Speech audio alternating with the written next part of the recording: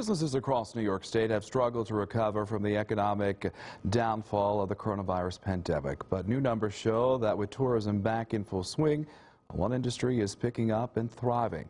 Our casinos. Our 18 News reporter Sharif D. King has the story. Most businesses across the country took a hit once the pandemic arrived. However, the Tioga Downs Casino Resort were in a different slot after managing to keep their doors open.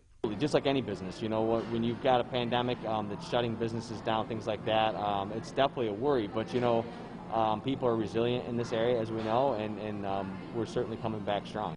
Tioga Downs Casino Resort's marketing manager Jim Weed says it wasn't an easy task to run a casino amidst the pandemic struggles. Well, it's been a challenge for sure, but you know, now that we're slowly climbing out of this thing, I think that certainly things are coming around. Local casino goers says Tioga Downs Casino Resort didn't change despite all the things that happened in the past two years. It's it didn't really change. Like you come here and you still feel like it's it's just like it was in 2019. Although the casino was open, they're still short-staffed in the hospitality department. We still have a lot of job openings here, so um, and that's everywhere. Like I said, that's that's uh, the hospitality industry nationwide is going through those struggles. The job, you know, trying to hire people.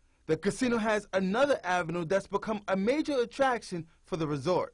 The one thing that we don't have in New York, unfortunately, is online, but the but the retail business, you know, the, the FanDuel Sportsbook here on property is doing very well. Um, you know, and it's it's uh, it's growing, I think, every day.